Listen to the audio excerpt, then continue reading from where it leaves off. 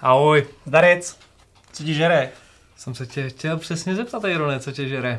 Mě žere spousta věcí, ale mě třeba žere, že nemám dost času na to, abych hrál všechny ty báječné hry, které uh, vychází, nejen český, uh, ale i třeba anglický, nějaký válečný hry a tak.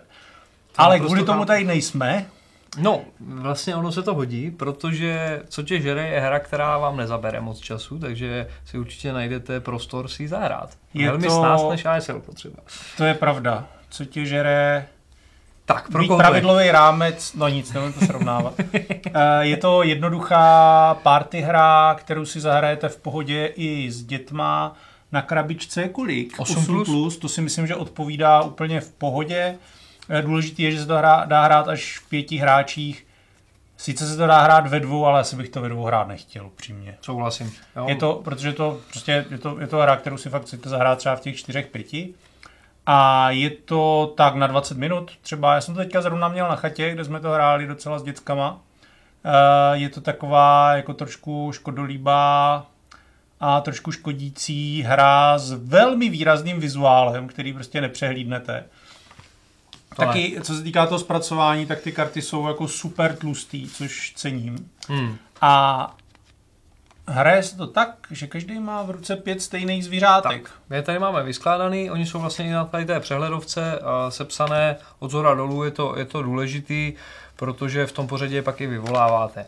Takže každý hráč má teda pět karet na začátku v prvním tak kole. Na začátku každého lovu. Tak, na začátku každého lovu, ať jsme úplně exaktní, si vyberete uh, kartu, kterou chcete poslat do lovu. tak to něco do lovu, už jsem si vybral. Mám vybráno. A teďka, jak mají všichni hráči vybráno, se vyvolává. Má tady někdo medvěda? Nemá tady někdo někdo. Má tady někdo vlka? No a v tomhle případě jsme se uh, vl- vlci potkali, což uh, je na jednu stranu dobře, protože jsme pořád s Filipem z toho lovu nevypadli, na druhou stranu jsme ani nikoho neulovili. Dva vlci na jednom smetišti tak. nemůžou být. Uh, můžeme zkusit další kolo, aby jsme, abyste viděli, jak se mm-hmm. vzdálenou, ať to, ať, ať, to, ať to můžeme demonstrovat. jo, takhle, tak já myslím, ne, že děláme ne, let's play. Děláme let's play. Tak, teďka je další kolo lovu. Zase, a ptáme se na medvěda. Ptáme se na medvěda. A máme tady medvěda. Ty je frajer.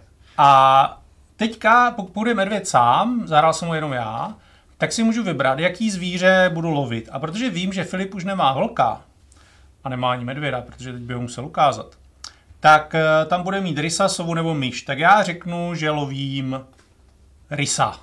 Výborně, a já rysa nemám, byť jsem mu ho teda ukázal, abychom věděli. To Takže budeme vyvolávat dál, vlk už tam být nemůže, rys tam tím pádem no, není. Technicky za to, sova. tím, že hrajeme ve dvou, tak nemusíme. Jasně. Ale uh, jasně, otočím jsou, kdyby tady byli nějací hráči, kteří jste hráli ještě, s náma.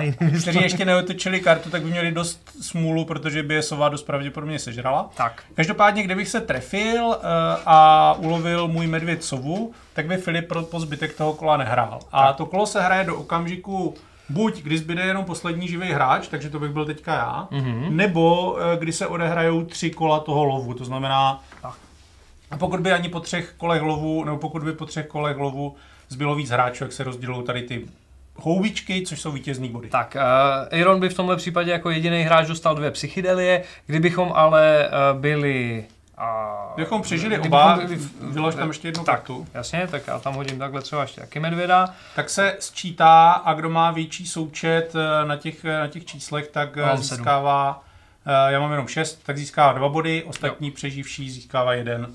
No a takhle se hraje do pěti vítězných bodů. Je to rychlovka, ale je to jako super zábavný, snažíte se odhadnout to, co budou hrát ostatní. Je to samozřejmě takový jako trošku chaos, trošku jako náhodný, ale ale je to, je to, je to vtipný a je to zábavný a pokud chcete nenáročnou hru, uh, takovou, které se budete škodolibě uh, smát těm, kteří jste sežrali, tak jo. co tě žere je Ideální, Dobrá volba. Ideální volba, přesně tak. Jako pocitově to připomíná ať už milostný dopis, anebo třeba Mindočí guláš. Možná eh, to vyvolávání ve mně hodně evokuje třeba Citadelu, ale samozřejmě mm. Citadela má je daleko komplexnější, hra, delší. Tak, hráčských nějakých ale, rozhodnutí. Ale t- takový, to, takový to, jak v Citadele se modlíte, aby ten vrah nezabil zrovna vás, tak to tady budete zažívat v co ti žere taky. Tak. No, takže to bylo opravdu velmi rychlé, briskní a představení tady té Mindočí vlastně pořád ještě novinky. Myslím si, že ji nepřehlédnete, my jsme se o tom už bavili, že to opravdu září, tady ty uh, fosforeskující barvy uh, fakt nepřehlednete a cením, cením to produkční Náš kolega Bíňo má zánět spojivek, tak ten by to hrát nemohl. No to rozhodně, to by, to by bylo velmi bolavé na to koukat, ale uh, já to cením, mně, mně to přijde jako fajn uh, vykročení z nějakého uh, stereotypu nějakých jako uh, tmavých anebo uh, nevýrazných barev. Tak. Jo, myslím si, že to je moc fajn hra na léto, takovou jako hru, hmm. kterou si dáte do batušku. Přesně tak. A budete to šudlat někde třeba na koupáku. Nebo hra tak. na koupák, přesně tak. Je? tak jo, hrajte i v létě ne, a berte si hry i na výlety a na dovči a tak. No a zase někdy v kanále u nějakého dalšího videa. Zdarec. Ciao.